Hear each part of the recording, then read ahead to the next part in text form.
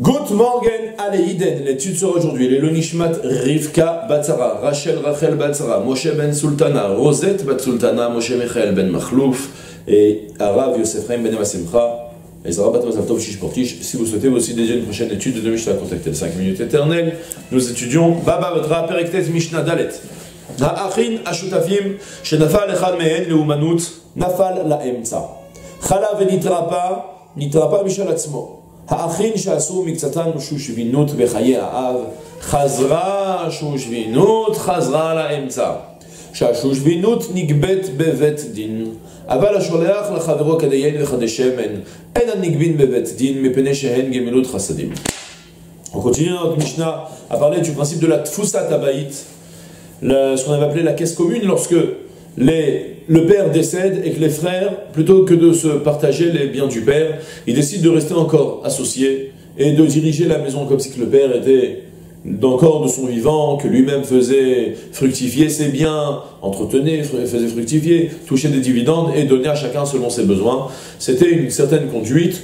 Euh, on apprenait depuis maintenant quelques Mishnayot en arrière où comment gérer cet argent, quels sont les frais que la caisse commune pourra financer, quels sont les frais qui sont extra, ou dans ce cas-là, un frère, par exemple, qui a des, besoins plus grands dans un certain domaine, est-ce qu'il pourra les prendre? Parce qu'en contrepartie, il va faire perdre tous les autres frères, parce qu'ils vont lui dire non, dans ce cas-là, tu, es obligé de te partager. C'est le sujet de toute notre Mishnah, toutes nos Mishnah en ce moment. On va prendre maintenant dans notre Mishnah trois situations. On commence avec la première.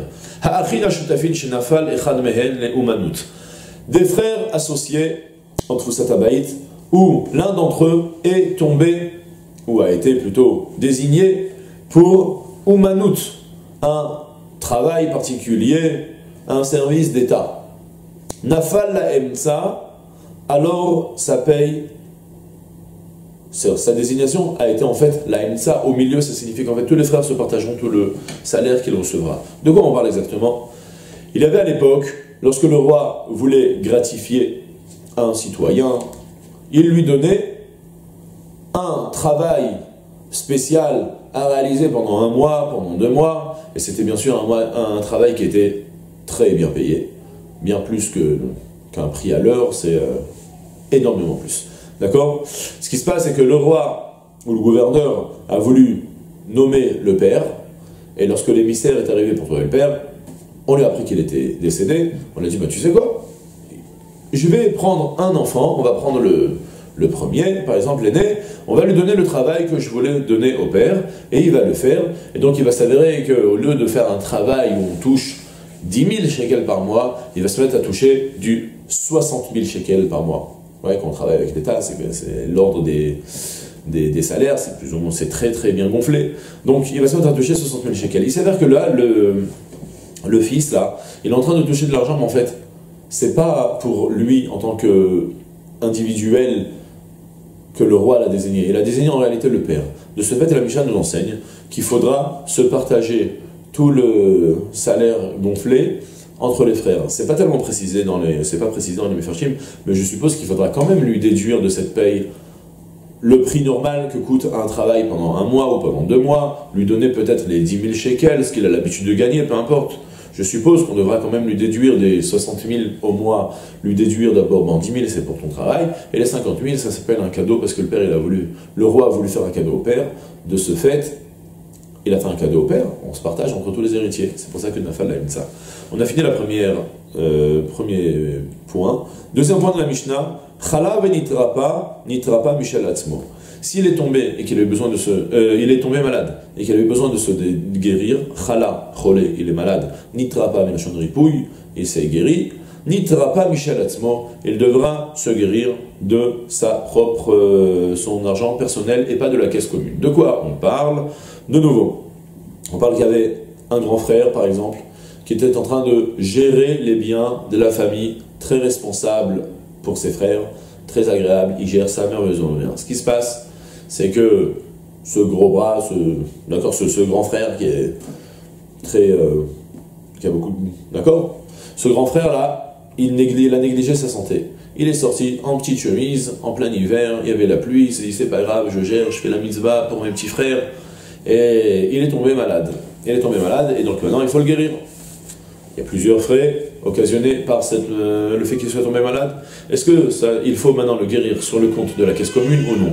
Réponse, puisqu'il a négligé, il a négligé sa santé, et c'est pour ça qu'il est tombé malade, de ce fait, il devra courir ses frais pour lui-même. Par contre, s'il n'est pas fautif, par exemple, c'était quelque chose d'imprévu, il s'est attrapé un, sale... Euh, il s'est attrapé par exemple un virus, peu importe, désolé, j'ai un, fils malade un peu, bon. Ça me trouble, mais c'est pas grave, j'ai déjà recommencé quatre fois mon chiour, donc je le laisse couler.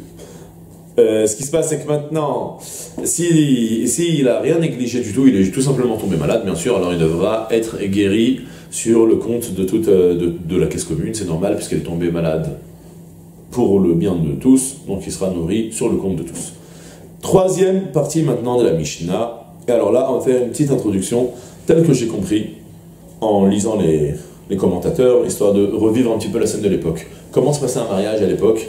Il y avait le principe de la shushvinut. Nous, aujourd'hui, on se contente dans les mariages de... On a les parents qui sont gentils derrière, qui nous couvrent plusieurs frais, et il y a par ça les invités qui viennent, qui font des cadeaux. On n'a aucun... Il n'y a aucun din Torah entre ces cadeaux. Mais à l'époque, ça ne se passait pas comme ça. À l'époque, il y avait deux cercles d'amis.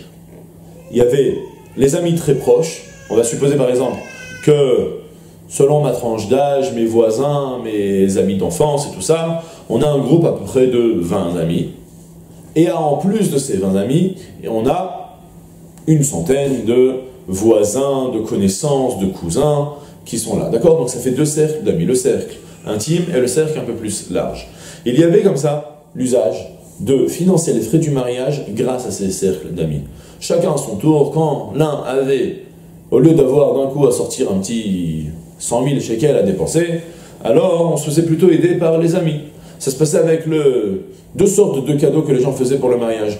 Les cercles d'amis intimes donnaient une grosse somme, assez beaucoup plus conséquente, un petit 2, 3 000 shekels, disons s'ils sont 20, vous imaginez, chacun donne 3 000 shekels, il s'est un peu serré la ceinture, mais d'un coup on atteint les 60 000. Ça nous permet d'avoir, de donner ça un petit peu pour le, de donner ça pour les jeunes couples qui passent la première année assez aisément, sans grand souci de parnassa, et à part ça, il y avait le cercle plus large que se contenter d'envoyer des petits cadeaux. D'accord?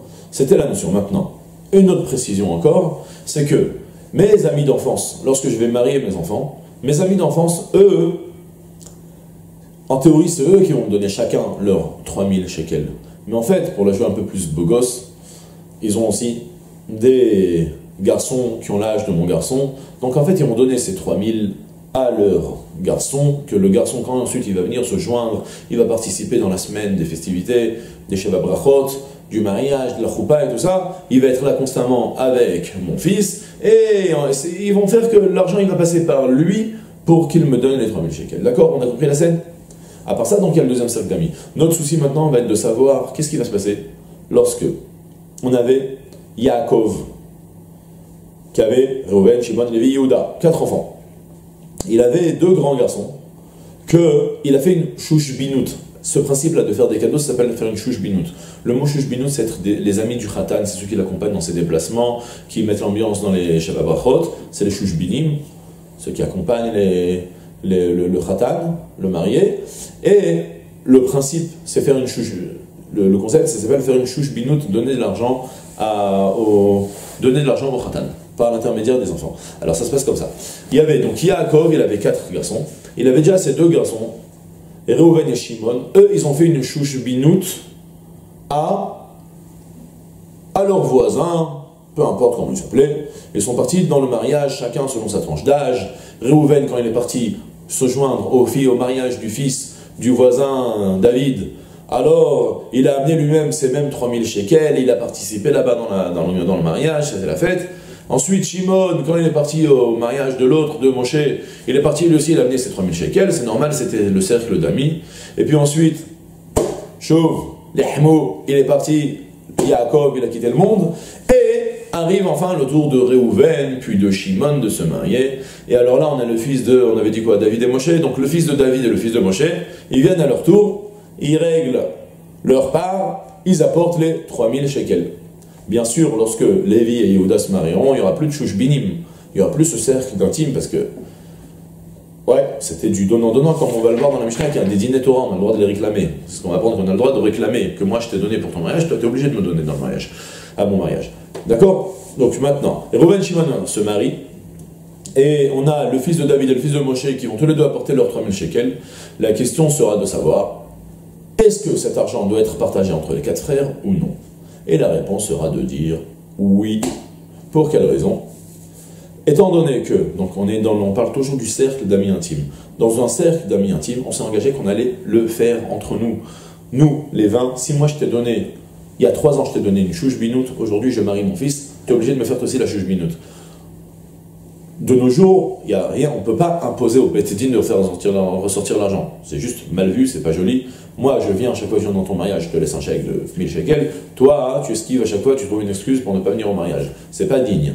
D'accord? Mais ça, on ne peut pas le réclamer au Bet Mais à l'époque, ça se réclamait au Bet On donnait une argent beaucoup plus conséquent, une somme beaucoup plus conséquente. Et alors là, je venais, je te disais, mais moi, je t'ai fait la chouche binoute, moi, je t'ai donné 3000 shekels. Pourquoi, quand moi, j'ai marié mon fils, tu m'as pas apporté la même chose? Tu m'as apporté même que 1000 shekels. Chez nous, on donne une norme, il y avait comme ça des normes, et ça se réclame au Bet Puisque ça se réclame au Bet alors on considère que Moshe avait une dette envers Yaakov. Or, si le père Imaginez tout simplement, Yaakov, après son décès, quelqu'un vient et veut donner 10 000 shekels parce qu'il avait une dette envers Yaakov.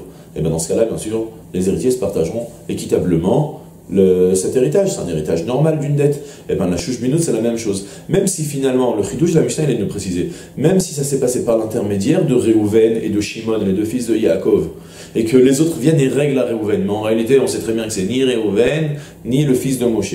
C'est Yaakov envers Moshe. Yaakov a donné l'argent au père qui mariait son fils, et finalement, c'est Moshe qui vient et qui ramène maintenant l'argent à Yaakov, qui ramène l'argent à Yaakov, et qu'il veut l'attribuer à Reuven, certes, mais en réalité, il doit le partager entre toute la maison de Yaakov.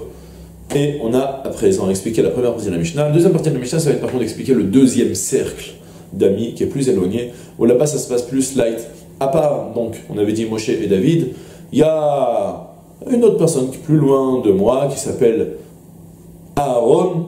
Et lorsqu'il y a eu le mariage d'Aaron, mon fils, c'est un, ami de yeshiva, du fils d'Aaron. Donc mon fils, il est parti, il a amené là-bas un petit chèque, plus 3000 shekels, il a donné un petit 200, 300 shekels. Dans ce cas-là, c'est un cadeau uniquement. Et si c'est un cadeau uniquement, donc je ne, je ne suis pas en droit ensuite de réclamer pourquoi lui m'a pas ramené ce cadeau. De ce fait, si le fils de Aaron viendra ensuite au mariage de Reuven et qu'il lui donnera un chèque de 300 shekels, Reuven pourra le garder pour lui. Et à présent, on refait ça dans les mots. Il y avait des frères que certains d'entre eux, un petit peu d'eux, asu miksatan, miktsat mehem, un petit peu d'eux, donc certains d'eux, ont fait une shush binut, ont accompagné le khatan, bechaye Av, quand le père, quand le fameux Yaakov, était encore de son vivant. Et ensuite, entre parenthèses, Yaakov est décédé, et Reuven et Shimon se sont remariés, et donc Chazra Shushbinut. Ça a été le moment maintenant de régler la dette où le fils des, les enfants des garçons des voisins sont eux aussi venus à leur tour régler leur, euh, leur payer leur peau tout simplement. Chazra la Emta, ce qu'ils ont rendu sera partagé au Emta, au milieu, partagé équitablement entre tous les autres frères. Pourquoi? Nikbet bevet din car la binout, le cadeau qu'on fait en mariage, se fait prélever par le din. Soit, si moi j'ai payé mon pot il y a trois ans, eh ben toi tu dois venir le payer à ton tour. D'accord? C'est ce qu'a marqué les binout Donc puisque c'est un droit que je peux réclamer que tu me le payes, lorsque finalement tu vas venir me le payer au mariage de mon fils, tu es en train de régler une dette. Et puisque c'est une dette que tu rembourses, donc tu rembourses la dette à Yaakov, et tous les héritiers doivent se le, le, partager équitablement. Aval la par contre, s'il a envoyé, même par l'intermédiaire de ses enfants, Reuven et Shimon, il a envoyé des kadeyain et des cruches de vin et des cruches d'huile. Pour le mariage, on a décidé de lui faire un cadeau, on a porté une grosse caisse de vin, une grosse caisse d'huile d'olive, et ensuite, lorsque c'est le, le tour de Reuven et Shimon de se marier, ces enfants de voisins, donc de cercles plus éloignés, me renvoient eux aussi une caisse de poulet, de vin, peu importe. Alors, dans ce cas-là, en anigvin, dans ce cas-là, je ne suis plus en droit de le réclamer. Bedin, je ne peux pas lui dire, mais moi je suis venu à ton mariage, je t'ai fait un cadeau. Toi aussi, je t'impose de me faire un cadeau pour le mariage de mon fils. Puisque je ne peux pas le réclamer, c'est uniquement ce n'est uniquement de la bonté, un geste de bonté, d'être fair play, d'aider quelqu'un à se marier. Mais donc, il n'y a pas de zrut mamon, il n'y a pas de droit d'argent qu'on réclame. De ce fait, euh, s'ils vont régler ça au mariage de Reuven et Shimon, alors ce sera uniquement pour les jeunes mariés, mais ce ne sera pas pour les autres frères. On fait à présent le Barthénora. Shenafal Echad Mehen la Il y avait un des frères qui était tombé en euh, service d'État. La Vodat Ameler, pour le travail du roi. Sheken Minhag Ameler, car tel est l'usage du roi, les Hamid, Mikol Bateair, Adam Echad, les Moches, Chodesh Echad, Oshne Chodashim. Tel est l'usage du roi de désigner de, parmi toutes les maisons de la ville, une personne qui va gérer un certain service, une certaine taxe. Un moches, c'est une taxe à partir d'un. Le, le, corps l'a récolté, pour ensuite il va en laisser une bonne part. Donc de un mois ou deux mois, et donc Nafal la ce qu'il aura gagné sera partagé entre tous les autres frères. Kol tous le, les gains, mi pene batlo, car ces gains lui sont arrivés grâce à leur père. Avalim Par contre, si le roi a désigné, on l'a pas dit à l'oral, ça, j'ai oublié, mais c'est pas grave, j'étais très troublé pendant ce cours, vraiment désolé, mais je suis fatigué de le recommencer. Mechamat Atzmo. Par contre, si le roi il a désigné un enfant, même après avoir appris que le père il est décédé, mais il a dit Ah, mais je préfère avoir ce fils-là, parce que celui-là, il est hafif, il est harif, il est piquant, il va bien se débrouiller, il va réussir à gagner plein d'argent. Vechashivuto, vechochmato. Donc le roi l'a désigné parce qu'il est charif, il est piquant, il est fin d'esprit, il est chachouv, il est quelqu'un d'important, chacham, il est sage. Nilkach la le roi l'a désigné. Masheir viach, arevach latzmo. Ce qu'il aura gagné, ce sera que pour lui. On est dans le deuxième sujet de la Mishnah, lorsque le frère qui gérait les biens est tombé malade. Alors le Barthénora nous introduit directement à la lachot qui en découle. Im chala s'il est tombé malade, à cause d'un imprévu, il a pris toutes ses précautions, malgré tout il est tombé malade. Klomar, shelo beatzmo, c'est-à-dire qu'il n'a pas été fautif de tomber malade. Mitrape minaemsa. Il sera guéri euh, sur, sur le compte de la caisse commune par les frais de tous les autres frères. Avalim chala mitzinim upachim vechayosebaem. Par contre, s'il est tombé malade à cause de tsinim, du froid et des pachim, ouais, c'est le chaud et le froid, vechayosebaem dirtiv baouch, omer, même que le pasouk a enseigné dans le Michelet que celui qui veut se préserver devra s'en écarter. Il fait référence à une Gemara. Be'am Rinan, je finis après j'explique. Be'am Rinan, sur ça on dit, Be'matnitin, Dianon Mitrapé, et la Mishnah Dans la Mishnah, on nous apprend, on apprend qu'il ne, se, euh, ne se guérira que par lui-même. La Gemara, elle enseigne.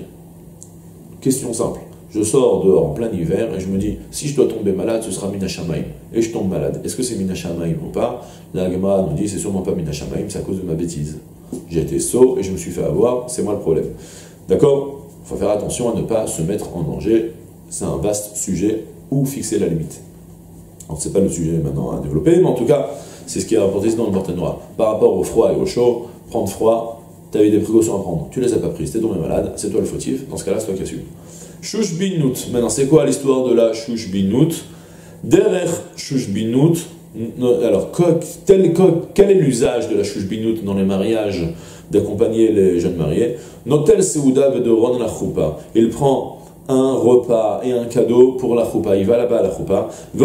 Imo. Et il va, il mange avec lui pendant toute la semaine et il lui fait donc ce beau cadeau large.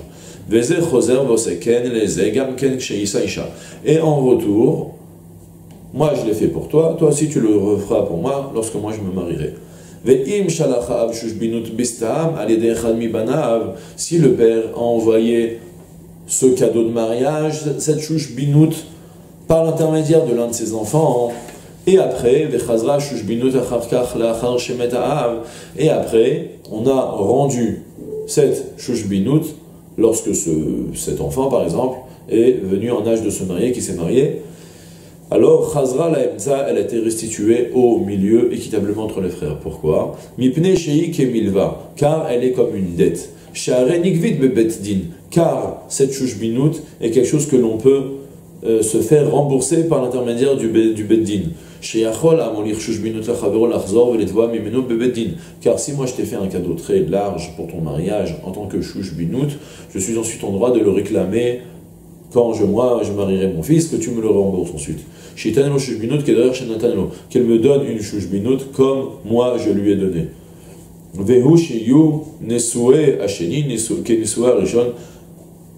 Il y a une clause qu'à condition, bien sûr, que le mariage du deuxième soit comme le mariage du premier, je ne sais pas ce que ça veut dire. D'accord, je n'ai pas compris le sujet, désolé. Ve'im betula, ouais, c'est précisé ici. Im betula, betula, ve'im almana, almana. Si par exemple, c'était un mariage de jeune couple, alors ce sera aussi un mariage de jeune couple. Si c'est un mariage de veuve, de veuve, ce sera pour une veuve. Ve'im befaresea, befaresea. Si c'est un gros mariage, ce sera aussi un gros mariage. C'est-à-dire, en fait, le principe Veim. Et si c'était discret, alors ça devrait être aussi discret. Je ferai avec toi comme ce que tu as fait avec moi. Soit, si moi j'ai fait un petit mariage, ou un gros mariage, et l'autre est devenu avec une grosse enveloppe, et ensuite l'autre fait en retour un petit mariage, lorsque je vais lui rendre, je ne serai pas obligé de rendre la même grosse enveloppe que je lui ai donnée. Parce que je pourrais lui dire, euh, il pourra me dire, je t'ai fait, ouais, mutuellement, on dira qu'il m'a fait une grosse enveloppe parce que je faisais un très grand mariage, et de ce fait, il y avait plus besoin de m'aider. Moi, je t'aiderai euh, proportionnellement au niveau que toi tu fixes. Par contre, s'il lui envoyait des cruches de vin et des cruches de, euh, d'huile, o inami imo. On parle cette fois-ci que c'était pas une vraie chouche binout, c'est qu'il a juste fait des beaux cadeaux en préparatif du mariage par exemple, ou encore, parce qu'il est venu à la choupa, mais c'était pas un des accompagnateurs du Khatan qui l'accompagnait durant toute la semaine des festivités.